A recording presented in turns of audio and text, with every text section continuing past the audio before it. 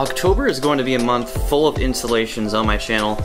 I'm very excited. I have so many parts to install for the Type R, it's, it's kind of ridiculous. First and foremost, today I'm doing a much needed interior modification. And for those of you who have a 2020 or a 2021 Type R, you've probably, you're probably starting to notice at this point that your steering wheel is getting a little grimy. Uh, yeah, this is looking like it's got a lot of dead skin cells on there kind of gross, and it doesn't it doesn't feel the same anymore. Oh yeah, that feels freaking awesome. and I haven't even gotten to actually grip it yet. Listen to that. This is real dry carbon on the top and the bottom, and it is a true flat bottom steering wheel. First things first, we need to make sure that the car is exactly where we want it for the install because the battery is going to be disconnected for this. So I'm just gonna turn it on. It already looks like it's pretty straight, but I'm gonna make sure it's extra straight. Didn't really need to start it, but steering wheel looks pretty damn straight to me. Step two, disconnect the battery. Paint is looking fresh as fuck right now, boys. What's not looking fresh is this engine bay, but by the end of October, this thing is gonna be looking really, really nice. Marco's going to be painting a yellow valve cover for me. The PRL turbo inlet pipe will be installed, as well as the race MAF intake tube, and then a bunch of other little stuff here and there.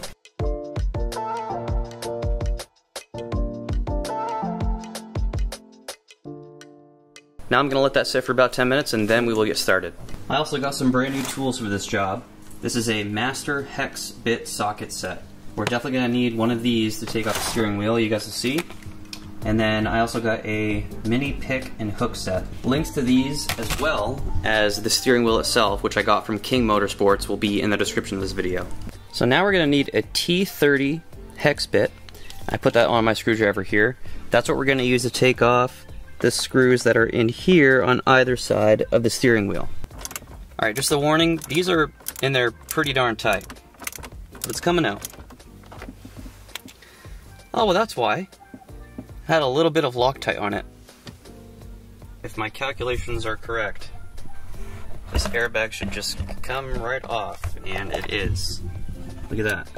There are only a few more steps to get this thing off. Right here we have the ground wire, and then there's a green plug and a gray plug. For these ones, I'm just gonna compress. Okay. Now I'm going to try the green plug. I need to be careful because the only thing holding this in is the ground wire. Okay.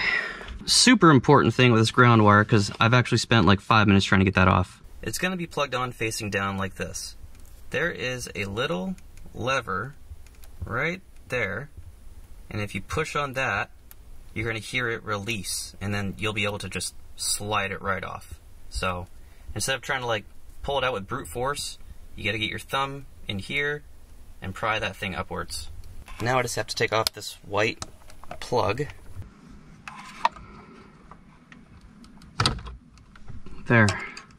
Last thing we need is this little 10 millimeter hex bit. I'm gonna put that on my impact gun. Oh wow, there's a light on this thing. That's pretty cool. And this is in there with blue Loctite, so it's it's pretty tough. Let's see if I can get it.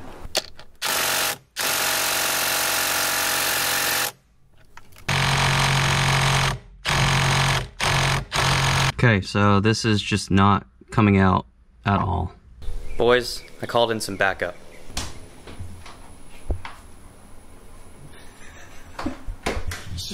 Definitely does. Okay, it's not it's not pointed at you. I am going to use my torque wrench because I don't have a breaker bar yet. I don't know how I don't have a breaker bar yet, but I don't.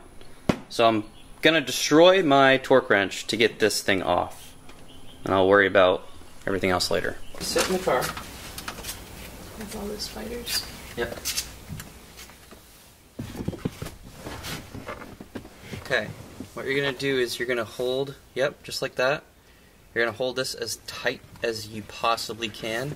What exactly are you? You're breaking. Oh. As hard as you can.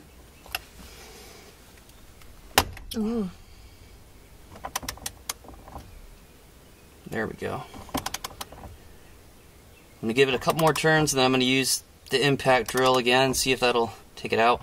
That thing is rated for 250 foot-pounds of power and then 400 foot-pounds of breakaway torque, but obviously that wasn't enough. Okay, thanks, babe. Now I'm gonna go pick up Vivian Subway because that was the deal. Will this be able to get the rest of this thing out? It's definitely struggling, dude. What a piece of crap.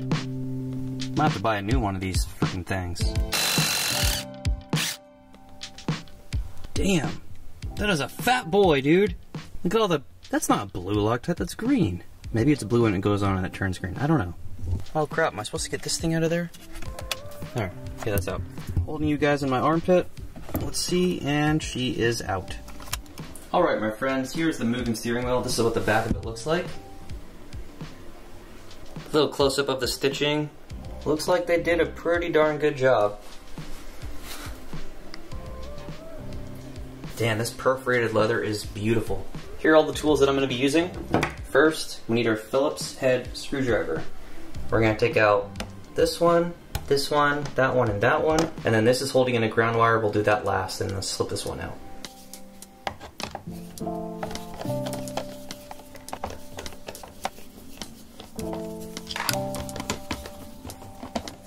Now for the ground wire. And now that should just slip right out, out this side. Cool. Now this should pop right off. Okay, this is where the plastic trim remover comes in. There. What is this stuck on now? Oh, they're these clips. That's right. You can take them off from the inside, it looks like.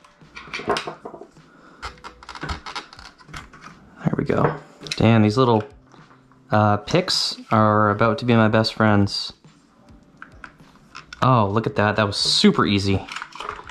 Alright, now for this little shit, there's three little prongs making a triangle. We have to push those prongs in so that the bolt can go through, because right now the prongs are like this. So we need to push them in. I'm gonna try something that I saw a Torque Toolbox do.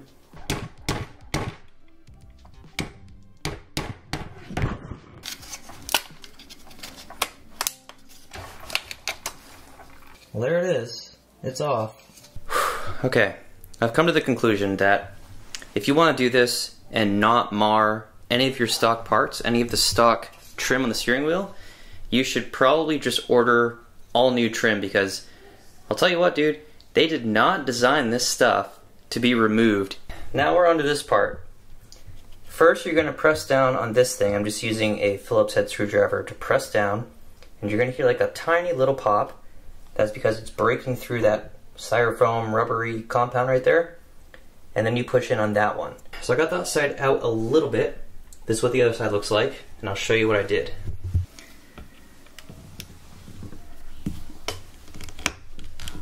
Hear that? I'm gonna press it over here. Press harder right here.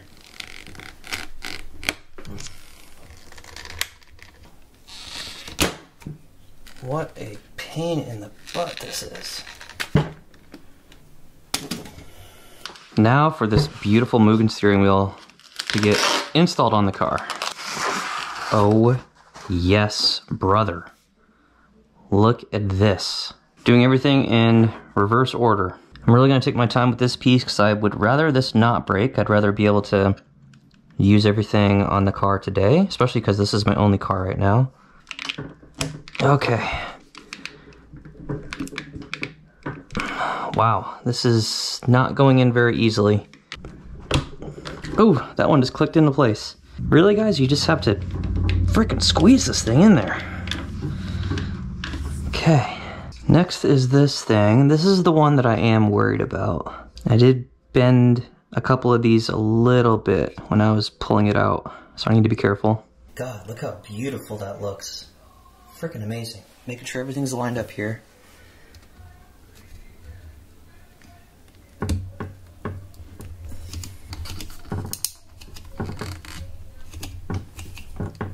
There we go. Look at that. Oh my god, that looks so nice.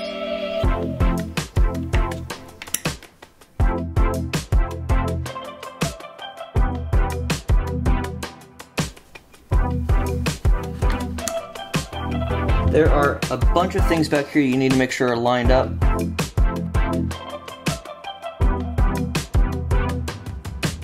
I think everything's on. I didn't hear too many clicks, but that's alright.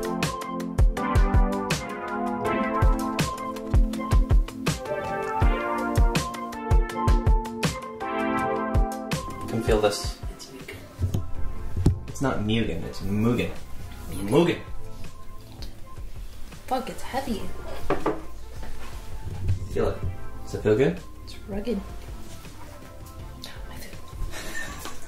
I'm gonna slip this wire back through under this little hook. Now for this other ground wire. Sweet. It's all put back together, guys. Take a look at this work of art. Holy moly. I'm so excited to drive this car around with this new steering wheel. This stuff needs to go right through here. Okay. Give it a little press, make sure it's in there. This guy is gonna go back on here. Now, here's my big bolt. Damn it. Now, I don't have any markings on this one to know. I think it was something like, oh crap, I think it was something like that. Let's rock and roll.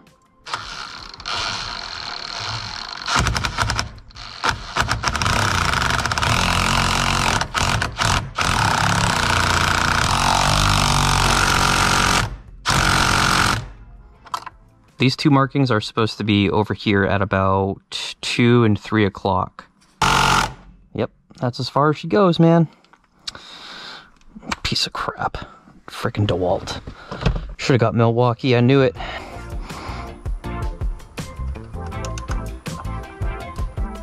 I'm almost there, guys.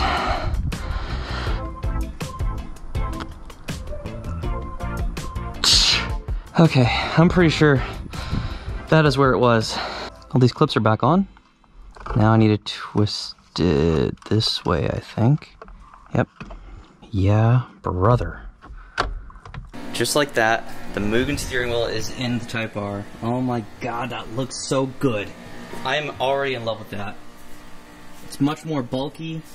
Just the fact that it has real dry carbon on the top and bottom with that little Mugen logo.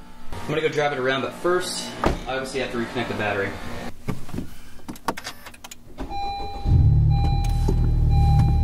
That was actually the first time I disconnected the battery in the Type R.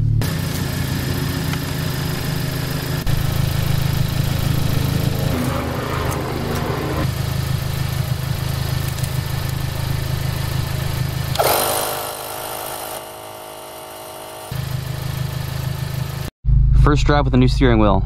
We're off. By the way, my rear passenger tire is leaking. It's a very slow leak. That was only at like 22 psi. Oh, yeah. Dude, this steering wheel feels freaking awesome. How do, dude, I always get so amazed at how the smallest modifications make such a big difference. Like the weighted shift knob, this is the stock shifter with the Ascend Racing weighted shift knob. And that was incredible when I put that on and I still absolutely love it. This steering wheel, oh my goodness. This feels perfect. Car should have came with this from the factory.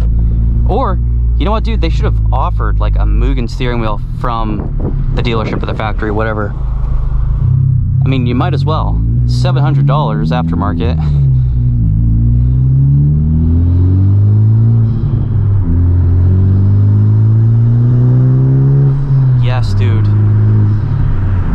top it all off, it's 83 degrees here in Riverview, Florida at 3 in the afternoon. So this is usually when it's the hottest. We are a few days post Hurricane Ian right now, and it's still the weather is just immaculate. I love it. It feels like fall is in the air. This is already one of my favorite modifications. I'd say right now my top three modifications are you got to have an exhaust system on this car, the steering wheel, and then probably the wheels. Those are my three favorite modifications right now. The shift knob will be number four. What a difference this makes. I love it so much. The perforated leather, it's it's not too okay, hold on.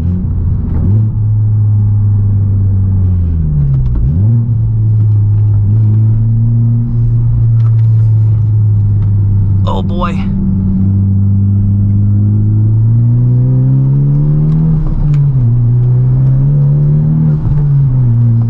Sir. oh my god, this is an amazing car. Steering wheel feels great though. That was only one turn, but I think the perforated leather helps a little bit with grip. Uh, I don't even want to touch the carbon on top or bottom. That's just so beautiful. Good job Mugen with the steering wheel. Guys, I highly recommend this modification.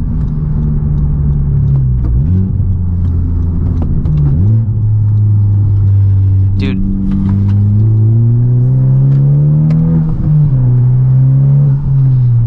Downshifts are freaking aggressive in R mode. I'm so in love with this car.